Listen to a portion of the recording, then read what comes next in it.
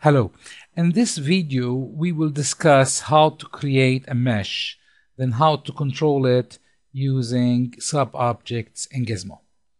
There is a tab, especially for meshes in AutoCAD 2013.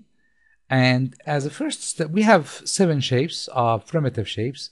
But before we start drawing using the uh, uh, shapes, we have to set up the what we call tessellation divisions. Uh, dependable on the shape that you will use, you will go and select it, then you will specify the number of divisions, whether around the axis or around or the, the axis or around the height. We will specify the uh, axis to be around 8 and on the height around 6. And we will say OK. Now, when we start drafting, okay we'll specify the radius of the uh, sphere that we are doing or a mesh sphere and we will specify a mesh sphere of 50 now uh, by default you are seeing a visual style of realistic. We can change it to conceptual. Once we do this we can see the divisions of of this uh, sphere but to see it clear, we will use a system variable called vs edges. Click here, vs edges. And vs edges, if we set the value to 1, we will see the divisions clearer.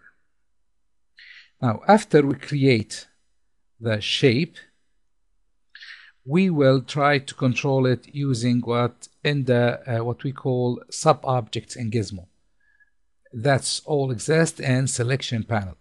In the sub objects, we can control what type, what part of the object or the mesh will be selected, whether a vertex, edge, or face, or we can say no filter to allow us to select the total shape. We will select now face, zoom in a little bit, and then select the top faces. Now, once we do this, a gizmo will appear. The gizmo, we have three types of gizmos, which is move gizmo, rotate gizmo, and scale gizmo. By default, you will see the move gizmo. Now we will first, after we select the faces, we will select moving around or using which axis. We will select the z axis. Once we do this, we can specify the distance by typing. We'll say 20 for instance and we will do the same thing for the bottom faces. Select them and three the whole thing.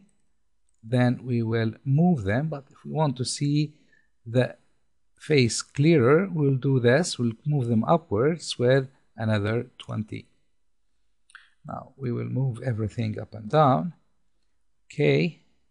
This is good but as you can see, there is a vertex up here, so we have to change to a vertex, and we can select this vertex and move it a little bit downwards, and we select to move it 10 units. Now, we have several uh, uh, uh, uh faces to control, but first of all, what we can do is we can select the edges up here and move them upwards a little bit in 20 units.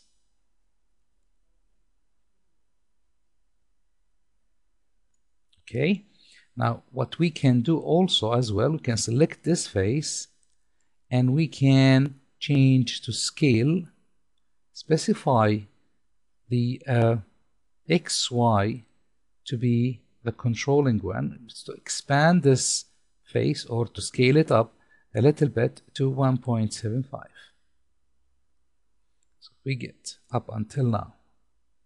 We can select another time an edge select the edge change the gizmo to move and move it a little bit down.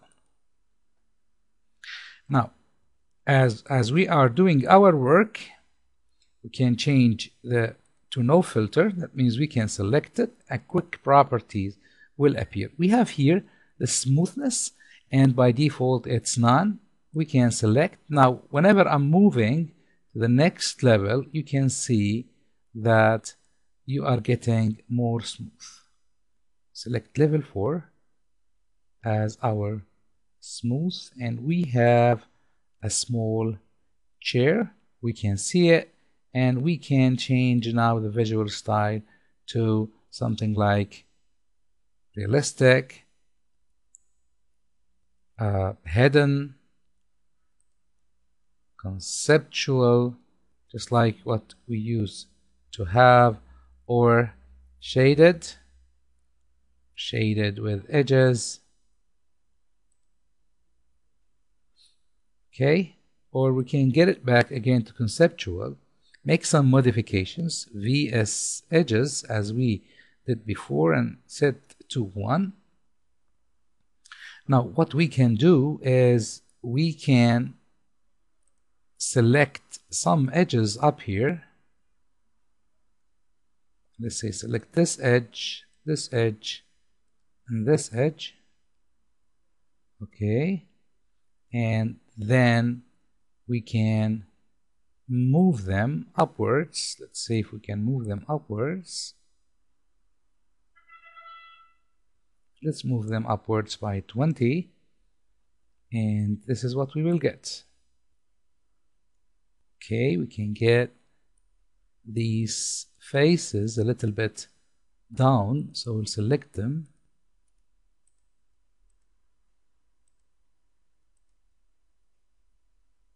okay and move them a little bit down see what will happen right now is that we will get this shape as you can see we can control the uh, uh, meshes by selecting parts of it and creating a very odd shapes that you cannot do elsewhere in AutoCAD 2013. Thank you for listening.